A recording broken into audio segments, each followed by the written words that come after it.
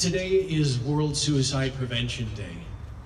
And maybe some of you didn't know that coming here today to, to a wellness fair.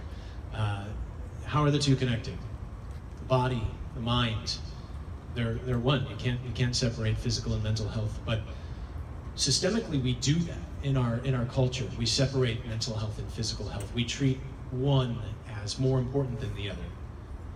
They're diagnosed, insured, and viewed completely, completely differently.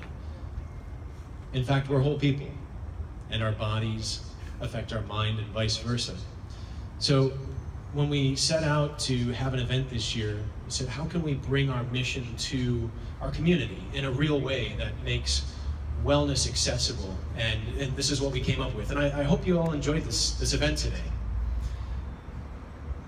What the goal is, is to bring these wellness modalities, bring these experiences that you've had today into your daily lives.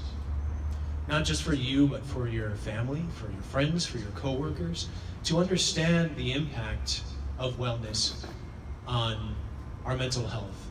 And to understand that suicide is most often the result of an untreated mental illness, but it's also preventable.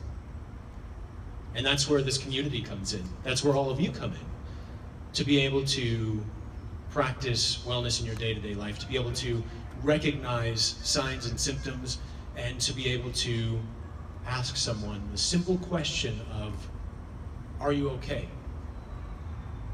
And after that, all you have to do, all you have to do is listen. You don't have to be an expert. You don't have to be a professional. You just have to listen. Why is this important? I lost my father to suicide when I was six years old. I say lost, I say lost out of habit, but he died. He took his own life and he died. And I know that there are other people here in my family who lost their father, other families who have lost their fathers, friends, people here who have attempted to take their own lives but are still with us today.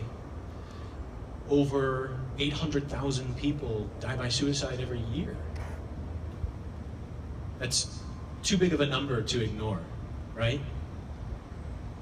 But it's not all doom and gloom because for all of those people, we have people that we can celebrate.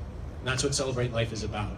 Remembering them, not demonizing them, not victimizing ourselves, but to remember their lives, to celebrate their lives, and to celebrate the lives that we have here today, to carry on their memories and to live life to the fullest. And that's what wellness is ultimately about, is finding what works for you, what works with your brain chemistry, what works with your physiology to help you be as well as you can be. That's what it's about. Celebrating life taking care of yourselves and taking care of those around you.